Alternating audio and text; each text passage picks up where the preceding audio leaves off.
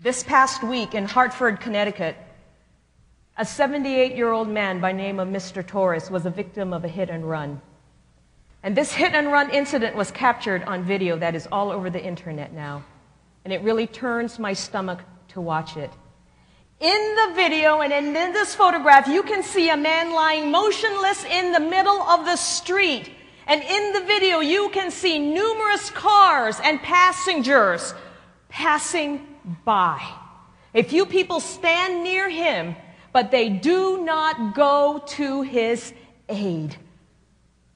What has happened to us?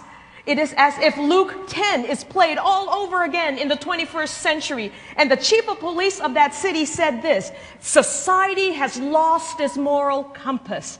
And I agree. But furthermore, I believe it is much more than that. I believe that we have lost our moral compassion. I believe that in the parable of Luke 10, Jesus is really trying to convey the idea that being a neighbor is more than just living in the same neighborhood. It means being compassionate first and foremost. Remember, it's not about the neighborhood, it's about the neighbor. Being a neighbor and being compassionate are one and the same.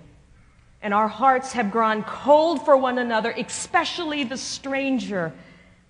And you know, we find it so much easier to make excuses than to be compassionate. I'm already late. I don't know how I can help. I'm not trained to do this kind of thing. I'll call 911 for them. And in a matter of fact, records show that four people did call 911 after Mr. Torres was hit, minutes, seconds after he was hit. But you know what? Not one of them stopped. Here's another excuse I can't get involved. It's not my problem. I'm tired of helping. They're not doing anything to help themselves. They didn't help me when I needed help, so why should I help them? And perhaps some of these excuses are very familiar to you. They're familiar to me, and I ha- I'm ashamed to admit that I have used some of these excuses at one point or the other. But let's go back to Luke 10, Luke 10 33, in our scripture, where we are told that he meaning the Samaritan, when he saw him, the man who was beaten, he took pity on him. He took pity on him. Another version, another version translate this verse as he had compassion on him. And the Greek word for compassion is a word that is rarely used in the New Testament, and it is only used to describe the actions of God, never the actions of human beings. Being a neighbor means being compassionate, but the compassion in this chapter points us to something deeper than human compassion because human compassion, face it, is very superficial. This compassion of the Samaritan points us to divine compassion. And let's just quickly take a closer look at the actions of this Samaritan. He got off his donkey, and came to the injured man. Don't laugh. He got off his donkey and came to the injured man, which means he recognized the need.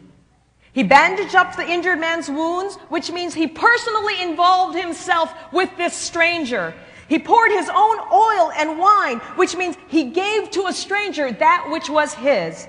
He put the injured man on his own donkey. He sacrificed his own comfort.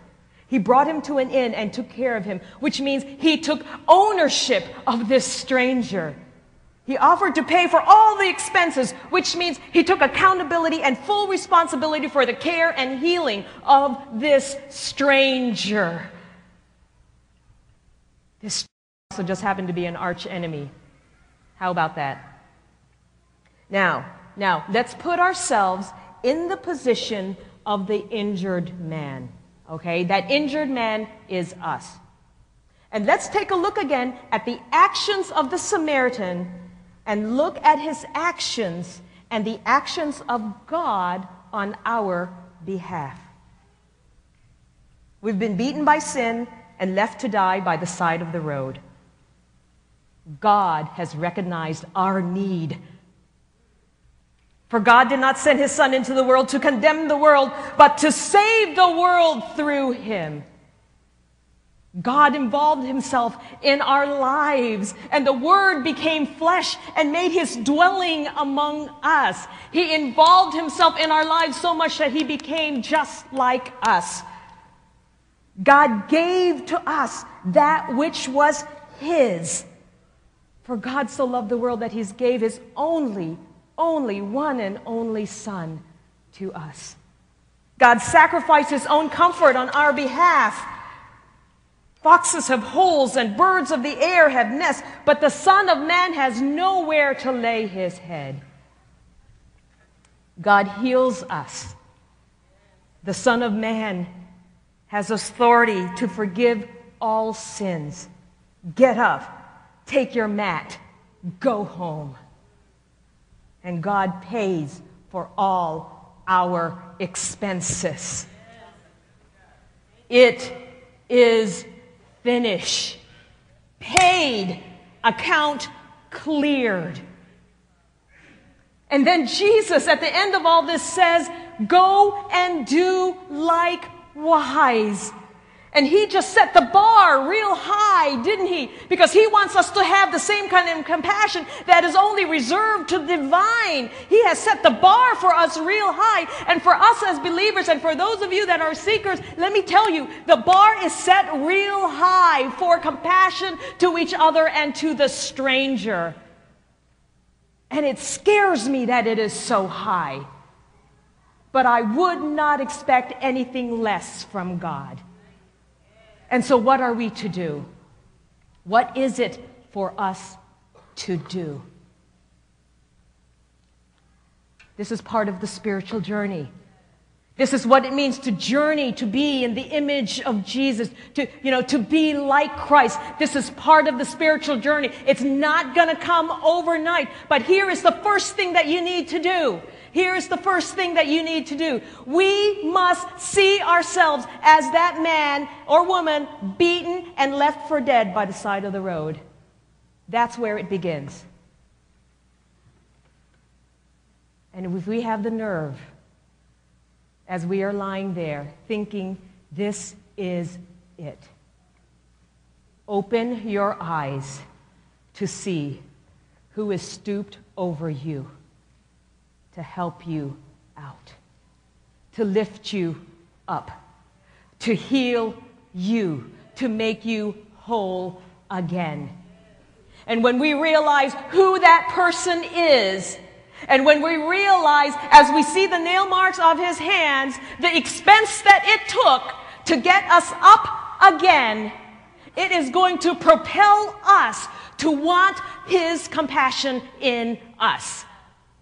It is a risk. It is not easy, but it is Him in us that will propel us to be the neighbor that He has called us to be. Who is your neighbor? Who's your neighbor? Do me a favor this afternoon. Take some quiet time with God. Read and reread and read and reread, reread, read, read, read, read, read. Luke 10 again. And every time you read, you say, God, answer for me. Help me see who is my neighbor.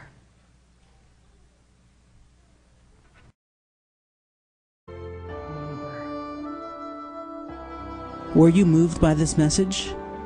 Why not share it with friends and family around the world? And if you'd like more information about New Hope Adventist Church, go to lookingforachurch.org.